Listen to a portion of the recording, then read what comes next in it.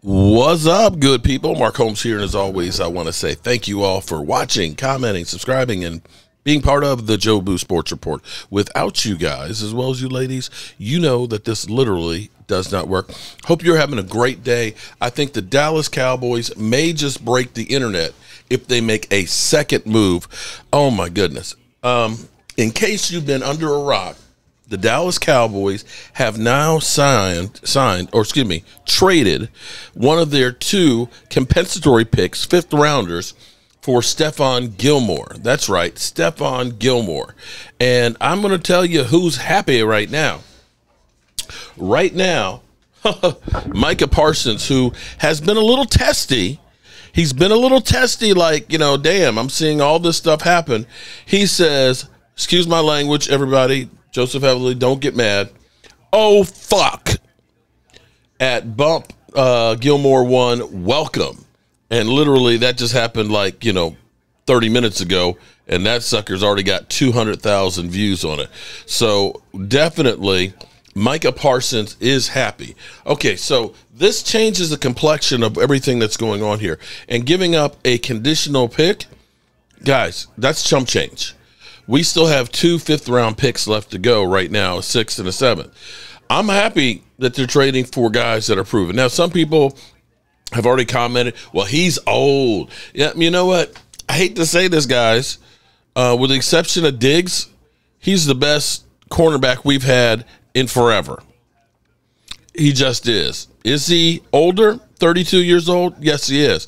But this is a move that definitely helped the Cowboys. Now, now that the Cowboys have finally broken their um, free agent cherry, let's see if they actually go out and continue this flow. Cowboys are all in on trying to make a juggernaut defense, and actually now you start looking at what they've done with re-signing uh, Donovan Wilson, Malik. Um, Malik Hooker, as well as having Jayron Kearse. You've got a great rotation and depth at safety. You've got cornerbacks galore with DaRon Bland and now uh, Stephon Gilmore and Diggs. You've got a good secondary, a really good secondary. Uh, the question will be is linebacker. Will we end up, you know, we got Damone Clark, who, you know, was a rookie last year coming back from a fused spine will the Cowboys re-sign Leighton Vander Esch, or would they go through and get Bobby Wagner? I would literally just go off. I, have been down here. I put out so many videos today. It's not even funny how many I've had to put out, but I am happy to because it's great to actually see the Cowboys making a move.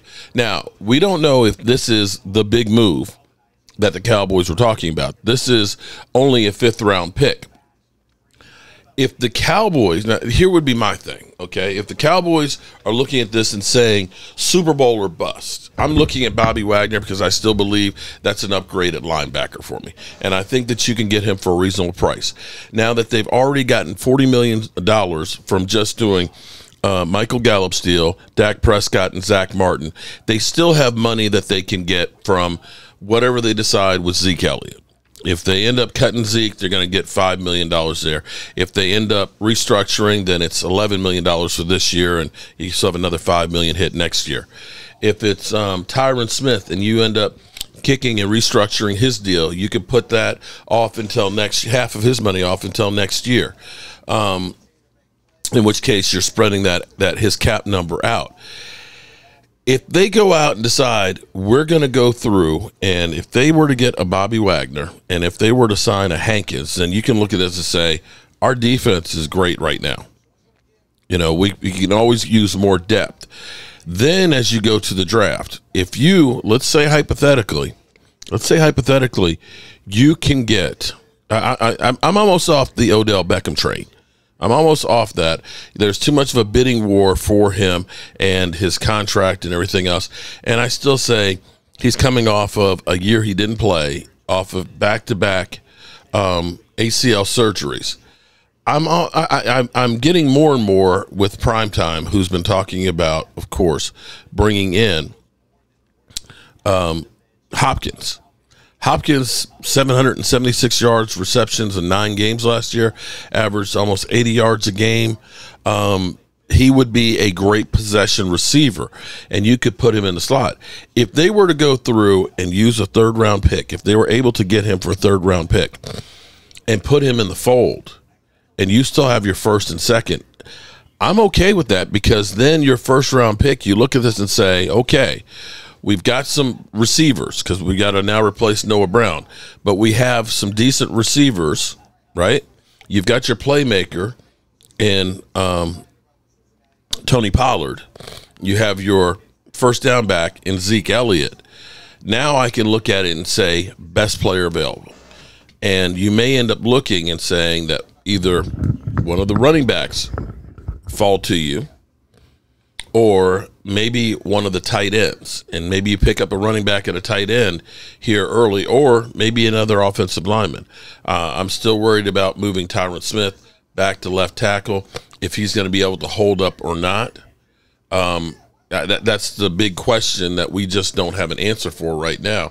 But you have to prepare like he's not going to because recent history over the last seven years shows he's going to miss some time. But if the Cowboys can go ahead and make just two more free agent moves or a, a trade, Bobby Wagner and Hopkins, you have to look at this team and say, all of a sudden, this team is really, really good. We'll see if all this happens. I am actually feeling better as a Dallas Cowboy fan that we actually have something good to talk about. Um, right now, the, the, dust is just flying around right here. I, I, literally need to get myself a bottle of water and just splash my face because I, I can't believe it. I literally can't believe that the Cowboys made a move in the second day of free agent frenzy before the league year even started. This may mean and I hope this does mean, I hope this means that the Cowboys are putting all their chips on the table and they're going all in. Please, please let let let me get, be in a position like the Eagles were last year to be able to talk some smack. You know that all of a sudden you, you look like it that you've built actually a really good team. That stuff we went through last year of of the Dallas Cowboys literally uh, doing nothing, having the worst off season ever for the Dallas Cowboys. I, I don't. Well, that that's gone. It's already gone.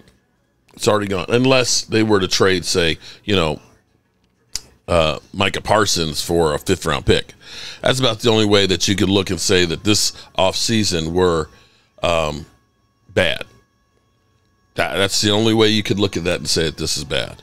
So that's where we are right now. I am happy, I am excited, and I am tired, but I am definitely full of having this joy here. Uh, we'll definitely have some breakdowns a little later. I'm going to be doing something with prime time. I'm sorry, game time. Uh, later on this evening, uh, I got a meeting at 6:45 that I got to get ready for, and any other news that breaks, we'll be right here for it. And I'm gonna have to reload my coffee and get me some soup so that way I can keep my strength up. Mark Holmes here, and I appreciate you.